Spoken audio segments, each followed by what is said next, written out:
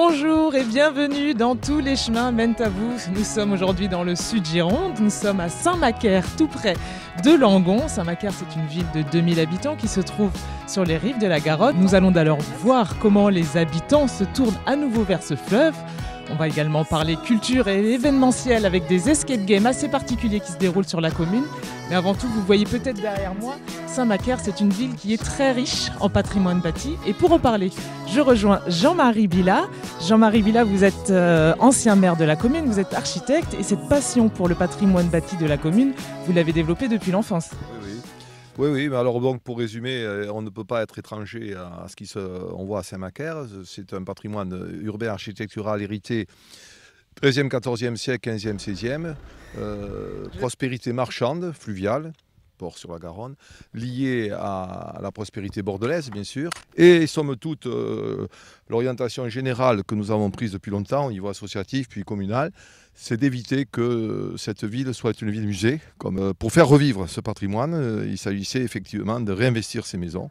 Donc, on a une politique de de suppression des friches urbaines, soit en revendant les maisons à des particuliers qui ont fait leur maison propre, soit en faisant des opérations de logements sociaux, comme il y en a une ici au-dessus de nous. Bon, la, ville s'est repeuplée, on a augmenté la population de 40% en même temps. Je dois rajouter que Makarios en grec veut dire bien heureux, donc nous sommes plutôt bien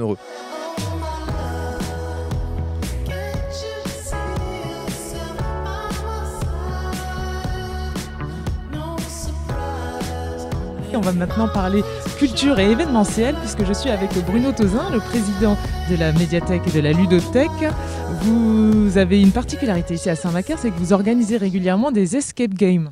Alors oui, depuis euh, quelques années où la ludothèque est présente, eh on organise des escape games qui font partie des, jeux traditionnels. Puisque l'escape game, c'est un jeu euh, où, par principe, on s'isole avec un groupe pour essayer en temps donné de pouvoir s'échapper. Et on a lancé un festival euh, depuis le mois de mai de cette année autour de cette thématique et ce support. On est dans la cour du relais postal, qui était un des bâtiments historiques de Sémacaire. On avait une partie des épreuves, puisque on travaillait avec euh, le puits, il y avait trois énigmes ici et il fallait qu'ils aillent chercher dans la tour euh, euh, les, différents éléments d'une des étapes, puisque le principe c'est de découvrir l'ensemble de la ville de façon différente, mais en un temps donné.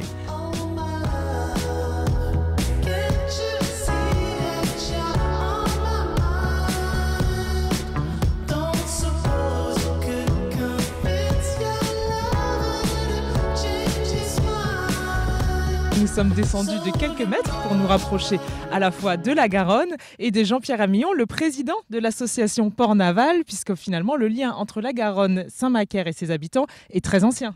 Oui, il date depuis le Moyen Âge, puisque la cité de Saint-Macaire, euh, sa richesse économique euh, et patrimoniale est directement liée avec le fleuve. On a fait sur plusieurs années des, fêtes à la Garonne pour rapprocher euh, les gens du, fleuve et le fait que le, port soit entretenu. Et sur le week-end, il y a beaucoup de, promeneurs qui viennent au bord de la Garonne on les comprend parce que le lieu est très agréable. Merci beaucoup, Monsieur Ramillon. Merci à vous de nous avoir suivis toute cette journée à Saint-Macaire. Vous n'hésitez pas non plus à cliquer sur les réseaux sociaux de France 3 Nouvelle-Aquitaine. À très bientôt.